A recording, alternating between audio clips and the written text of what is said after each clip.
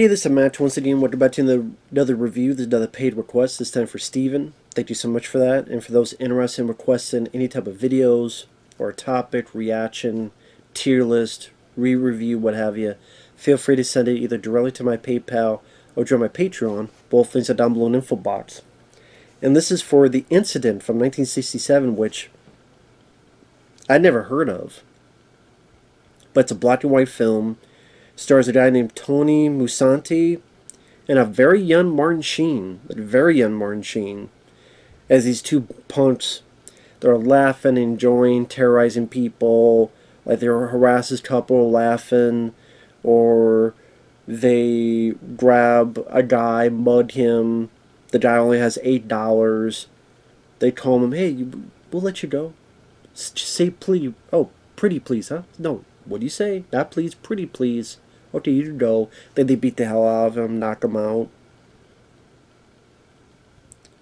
Uh, they even have like a conversation. Which do you did more, bitches or broads? I like both. And Martin Sheen seems a bit crazy, while Tony Musante's more of the, the leader of this duo. And then you're introduced to a series of characters. Because I would say the first half of the film is introducing these variety characters, and then the second half of the film is they all did a subway train in, I believe it was New York, and during it, these two punks terrorize, harass, fuck with each of these passengers. So the tiers you get introduced to, you have Edmund McMahon, yes, from Johnny Carson, Publishers Clearinghouse, that Ed man who has a wife and a kid, and they're always arguing about money, and want to get home to put the kid to bed. You have a young couple, teenagers, where the guy is very aggressive and kind of rapey. That's the way I would describe the guy. Like, try to be forceful with his girlfriend. Uh, you have an out of work alcoholic. You have a guy that you get the idea he's a ho homosexual. You have Brock Peters, which I've seen in a couple films. Uh, he was one of the was it admirals in some of the Star Trek movies. I think Star Trek four. I think Star Trek six. He was the African American, one of the heads of Starfleet. He plays part of a couple, him and Ruby Dee, who I remember from the original Stephen King's The Stand, as mother, was it Abigail her name? That everyone, the good people go towards, we must make our stand. And Brock Peters is very racist against white people. And then you have these two soldiers, and one of them is Beau Bridges, who was in The Wizard. He was in uh, Sidekicks with Chuck Norris. Been a few movies. I mean, he never got as popular as Jeff Bridges, but is a good, capable actor. Really liked him in this movie. He's a soldier in the army who is with his buddy, went to his buddy's parents' place to eat. He has a broken arm. He's from Oklahoma. You also have this elderly couple aggressive towards the, the young, especially the guy, aggressive toward the younger generation. So there's a lot of characters being established at little spurts. And then the second half, which I, I like the, it was shot in black and white for this. It gave a bit of a atmosphere in the subway.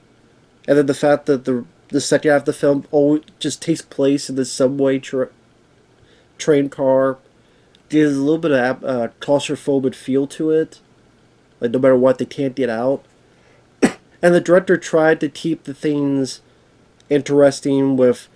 Sometimes you have like different zooms or different angles, usage of the camera. I thought the acting by the two punks, Tony Musante and Martin Sheen, were really good. Being assholes and playful and oozing with animosity and ego and thinking nothing could stop them. like one of the older ladies says, "I'll call the cops," or the guy, maybe the guy. What the guy, older, I'm trying to remember. I think it was the older lady. It's like, go call the police. Go ahead, call them. I ain't stopping you.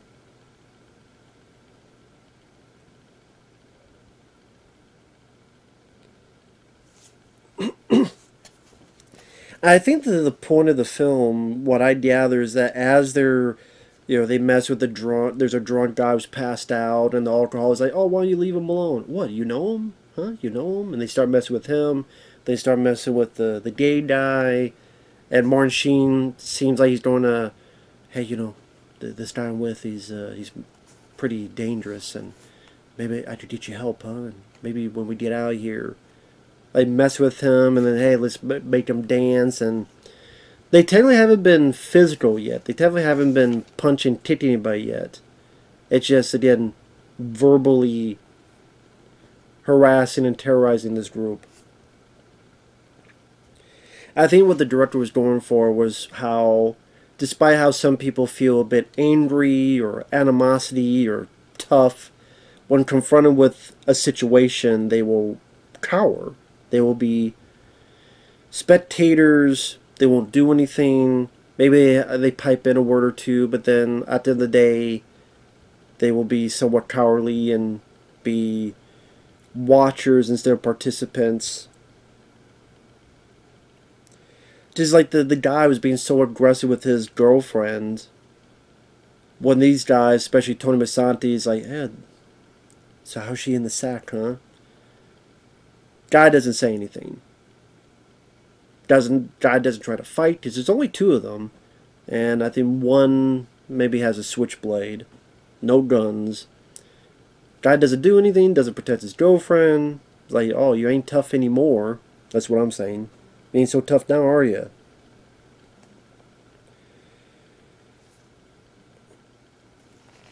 Or like the the the gay guys asked for help, but Brock Peters won't do anything. I'm like, yeah, you were talking so tough where you were getting mad at this guy who accidentally dropped one of the coins at the ticket station, and you're saying, oh yeah, I picked it up and blah blah blah, and how awful white people are. He's going on. And then he's even like, no, I'm going to stay here. I'm going to watch I like this. Like he's liking these white guys terrorizing other white people. It's a really piece of shit character. So you get to a point where the guy uses the N word and says, "You smell. You have a N word." I'm not going to say the word smell. And Brock Peters getting mad and pissed. He's like, "Do do something." He's he's trying, not do anything, and then he sees that Ruby Dee You're going to uh, break her arm. So, Grant, I mean, you just say that he he backed down because he didn't want his girl, his love, her arm broken. Which, if the, if the goal for the cowardice bit, that kind of defeats what the director was going for, because that's not really cowardice, it's just you don't want your girl get her arm broken.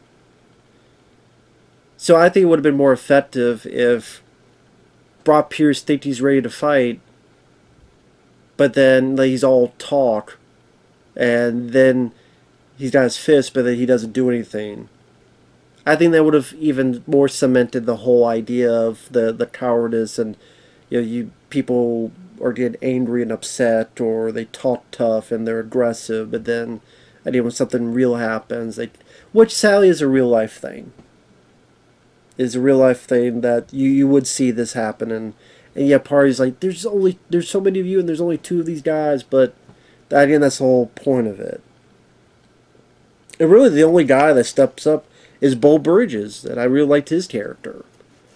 These guys sitting back, and as they go to each one, they get to the soldier, and they start, uh, especially Tony Musante, poking at Beau Bridges. It's like, I don't know. How about you stop rocking the boat for a while, huh, fella? Well, I don't think we're better than you. I do think we're a little quieter.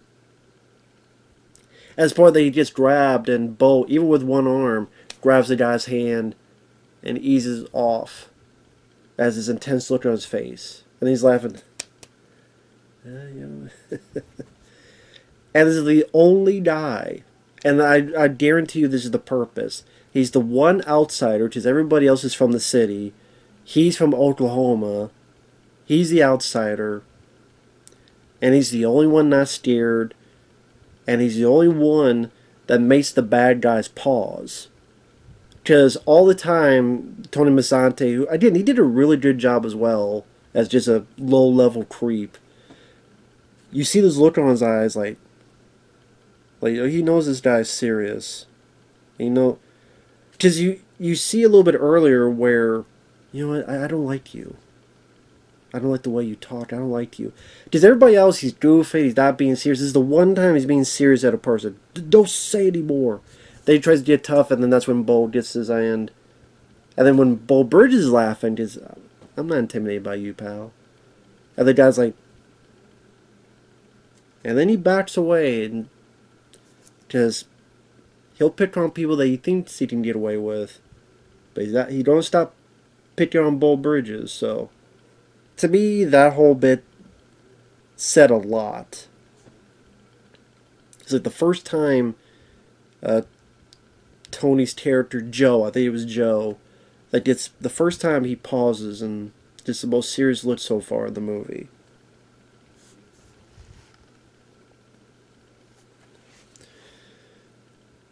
So then that's when they mess with Brock Peters, and as a viewer, I would say I'm kind of glad he tries because he's been such an awful, racist piece of shit person. The fact he's able to cry in front of everybody and kind of get you know embarrassed, kind of fine with because. Although to be honest, most of these people, if you think about, it, are not really that good of people. That's ultimately, spoiler alert, spoilers. The Joe Kidder starts messing with Ed McMahon's daughter, and they're like, "I'll leave her alone." Oh come on! I just want to look at her. I just want to talk to her. What's the doll? And finally, Beau Bridges stands up and goes, "Leave her alone," and all this. I like the way the director filmed this, where Joe looks and then the camera pushes the camera down and to Beau Bridges' face and goes, Well, I'll put you down. And I mean, this is like the most badass I've seen Beau Bridges, which is nice to see. It was a nice change. Because usually the type of performances, he's like the dad in The Wizard and sidekicks. And it was nice to see him in this kind of role. And the way the director tries to re to energize the camera work the guy pulls up a switchblade as he goes towards like the camera almost follows him in this straight like not steady cam. That wasn't a time but the smooth pan towards Beau. And Beau and spoilers beats the shit out of that guy one handed he gets wounded but he beats the shit out of him with his cast. Nobody's helping. And then goes to Martin Sheen, and now that his buddy's beaten down, now he's a chicken shit, and he knees him in the balls, in the crotch.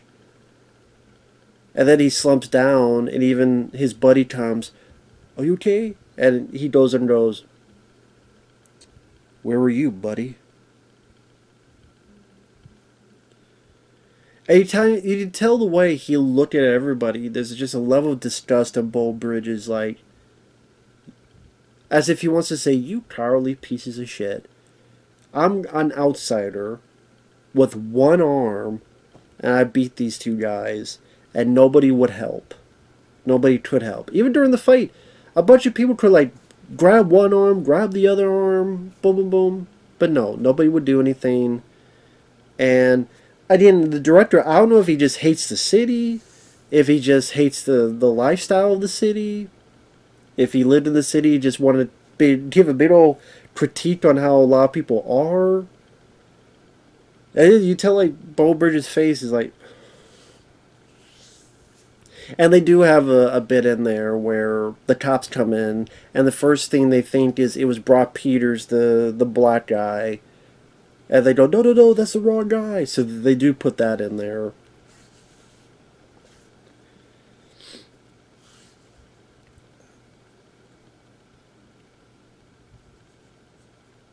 Which I mean, idea-wise put in there, but it's like, don't no. I mean, come on.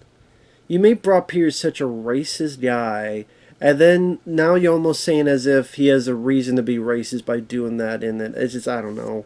I mean, you made him such a terrible person that you almost like giving him confirmation of why he's that way.